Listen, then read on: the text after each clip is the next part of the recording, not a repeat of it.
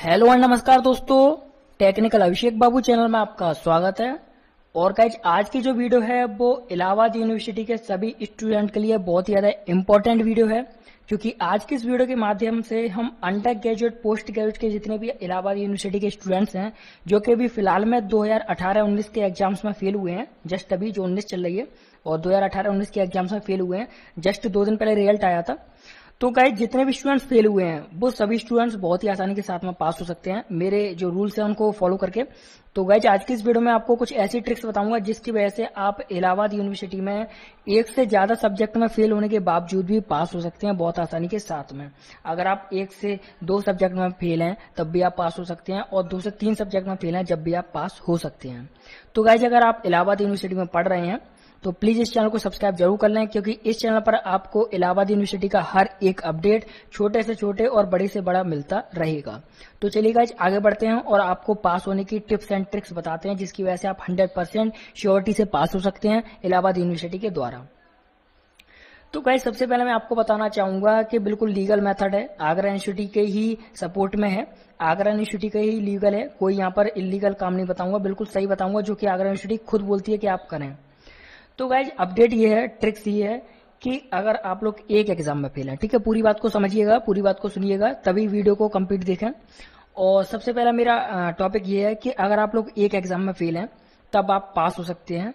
एक एग्ज़ाम में फेल होने के साथ में आप किस तरीके से पास हो सकते हैं, आपको बताना ज़रूरी है। देखिए, एक एग्ज़ाम में अगर आप फेल हैं तो आप री एग्ज़ाम डाल सकते हैं, ठीक है? इंप्रूवमेंट का री एग्ज़ाम डाल सकते हैं, पास हो जाएँगे। लेकिन बात आती है, अगर आप दो एग्ज़ाम में फेल हैं, तब कैसे पास होंगे?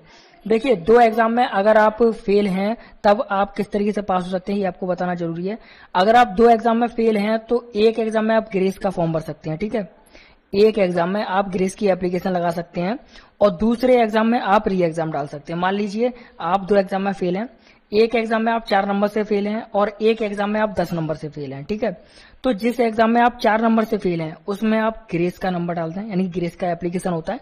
ग्रेस जो होती है ग्रेस मिलती है। ग्रेस आपको आठ नंबर से पहले पहले मिल जाती है। अगर आठ नंबर तक आप फेल हैं तो आपको ग्रेस मिल जाता है, ठीक है? ग्रेस से आप पास हो जाते हैं। तो अगर आप चार या पाँच नंबर में फेल हैं, चार या पाँच नंबर से फेल हैं तो आप ग्रेस का एप्लीकेशन लगा सकते हैं। अगर आप दूसरे एग्ज़ाम में दस नंबर से फेल हैं तो उसमें आप री एग्ज़ाम डाल सकते हैं, ठीक है? तो इस तरीके से आपके दोनों एग्ज़ाम बच जाएँगे। एक में आपको जो है इम्प्रूवमेंट मिल जाएगी एप्लीकेशन लगा करके ग्रेस का, और दूसरे में आप री एग्ज़ाम फॉर्म डाल करके उसमें अपने अच्छे मार्क्स ला सकते हैं, दोबारा पेपर देके ठीक है? दो एग्ज़ाम में ये चीज़ क्लियर हुई। एक एग्ज़ाम में भी मैंने क्लियर कर दिया। अब बात आती है तीन एग्ज़ाम वालों की। देखिए, तीन एग्ज़ाम में अगर आप फेल हैं तब आप कैसे पास होंगे? फिर भी बहुत अच्छा आपके लिए ट्रिक्स है, बहुत ही अच्छी टॉपिक्स है। देखिए, अगर आप तीन एग्ज़ाम में फेल हैं तो एक एग्ज़ाम में तो आप जो है एप्लीकेशन लगा सकते हैं ग्रेस की, जिसमें आप आठ नंबर से कम नंबर में फेल हैं, ठीक है? जैसे छह या पाँच नंबर से फेल हैं तो आप ग्रेस की एप्लीकेशन लगा सकते हैं।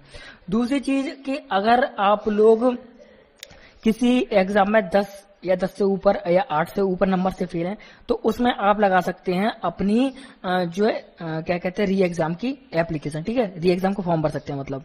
तीसरी बात आती है, तीसरे अगर एग्ज़ाम में आप फेल हैं तो उसमें आप स्कूटनी का यानी कॉपी रीचेक का वो लगा सकते हैं एप्लीकेशन और कॉपी रीचेक का फॉर्म भर सकते हैं, जो कि ऑनलाइन भरा जाता है। कॉपी रीचेक में क्या होगा कि आपकी कॉपी चेक होगी, आपके मार्क्स इंक्रीज हो जाते हैं उससे और आप पास होने की उम्मीद पर पास होने की कगार पर आ जाते हैं। यानी कि इंप्रूवमेंट मिल जाती है इंक्रीज हो जाते हैं आपके नंबर तो आप पास हो जाते हैं। तो इस तरीके से आप तीन एग्ज़ाम में पास हो सकते हैं, आगरा यूनिवर्सिटी के सॉरी इलाहाबाद यूनिवर्सिटी के द्वारा।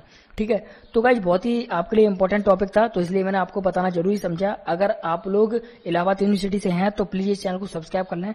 अगर कोई भी क्वेरी कोई क्वेश्चन है, आपको फॉर्म किस तरीके से बनना है री एग्ज़ाम का एप्लीकेशन फॉर्म किस तरीके से बनना है ग्रेस का फॉर्म किस तरीके से बनना है, ये सभी जानकारी आपको हमारे चैनल पर प्रोवाइड होती रहेंगी। नेक्स्ट वीडियो इसी पर होगी, किस तरीके से आपको एप्लीकेशन फॉर्म बनना है री एग्ज़ाम के लिए, किस तरीके से आपको एप्लीकेशन लगानी है ग्रेस के लिए, किस तरीके से आप स्कूटनी फॉर्म भरेंगे कॉपी रीचेक के लिए। तो सभी जानकारियाँ आपको हमारे चैनल पर मिलती रहेंगी तो प्लीज़ चैनल को सब्सक्राइब कर लें। अगर चैनल पर पहली बार आए हैं तो क्योंकि यहाँ पर आपके लिए इलाहाबाद यूनिवर्सिटी का हर एक अपडेट मिलता रहेगा, जिससे कि आपको बहुत ही ज़्यादा हेल्पफुल हो सके। तो थैंक यू सो मच दोस्तों, मिलते हैं अगली वीडियो में, तब तक के लिए बाय बाय